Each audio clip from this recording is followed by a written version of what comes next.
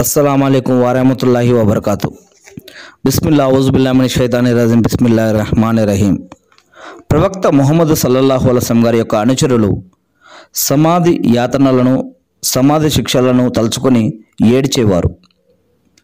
Hazrat honey రజల్లాను గారు ఆయన Usman bin Affan రజల్లా గారు బంటు ఇలా ఉల్లేఖించారు. ఏమనంటే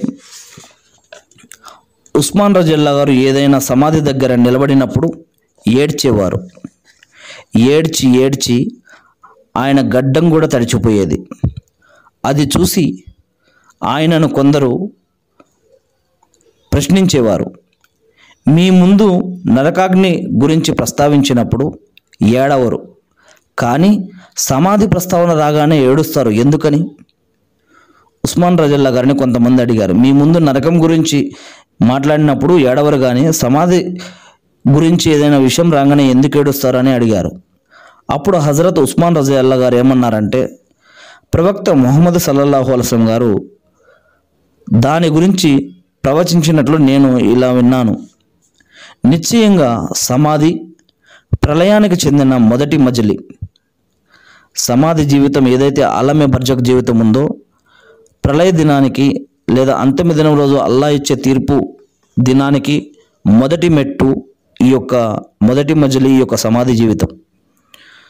ఎందుకంటే మానవుడు మరణించి మా మా- మానవుడు జీవించి ఉన్నప్పుడు ఏదైతే మంచి చెడు పాపపుణ్యాలు చేసుకున్నాడో దానిని బట్టి ఈ యొక్క రిజల్ట్ అనేది ఈ యొక్క సమాధి జీవితం నుంచి ప్రారంభమవుతుంది. అందుకని నిశ్చయంగా సమాధి ప్రళయానికి చెందిన మొదటి మజిలి. దాని నుండి రక్షించబడితే దాని తర్వాత వచ్చే దశలన్నీ కూడా మరింత సులభంగా ఉంటాయి. దాని నుండి రక్షణ పొందకపోతే దాని తర్వాత వచ్చే పరిస్థితులన్నీ కూడా మరింత ఎక్కువ కఠినంగా ఉంటాయి. సమాధి జీవితం ఏదైతే ఉందో ఈ యొక్క సమాధి జీవితం మొదటి మజిలి ఏదైతే మొదటి జీవితం ఏదైతే ఉందో అలమే బర్జక్ జీవితం ఇక్కడ గనక సులభతరంగా ఉండి ఉంటే తర్వాత వచ్చే దశలన్నీ కూడా ఏదైతే ప్రళయ తర్వాత వచ్చే అల్లా తీర్పు తర్వాత వచ్చే స్వర్గం లేదా నరకం ఏదైతే ఉన్నాయో ఇక్కడ సమాధి జీవితం గనక సులభతరంగా ఉంటే తర్వాత వచ్చే దశలన్నీ సులభంగా ఉంటాయి. ఈ యొక్క సమాధి జీవితం ఏదైతే చాలా ఘోరంగా ఉంటుందో తర్వాత వచ్చే పరిస్థితులు ఇంతకంటే ఘోరంగా ఉంటాయి అని ప్రవక్త మొహమ్మద్ సల్లల్లా అల్సం గారు చెప్పిన మాటలను గుర్తు చేసుకుంటూ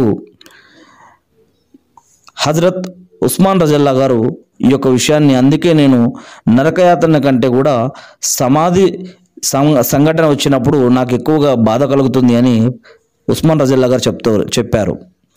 తర్వాత ఏమని చెప్పారంటే ప్రవక్త మొహమ్మద్ సల్లల్లా వస్లం గారు ఏ- ఒక విషయం చెప్పారు.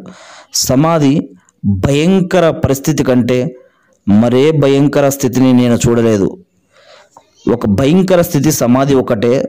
ఆ సమాధి భయంకర పరిస్థితి కంటే మరే భయంకర స్థితిని నేను చూడలేదు అని ప్రవక్త మొహమ్మద్ సల్లల్లా వస్లం గారు చెప్పారు అని ఉస్మాన్ రజల్లాహు గారు చెప్తూ ఉన్నారు. ఈ యొక్క హదీస్ సహీహ్ ఇబ్నె మాజా అనే హదీస్ గ్రంథంలోని మూడు వేల నాలుగు వందల నలభై రెండవ హదీస్ నుంచి తీసుకొనబడింది.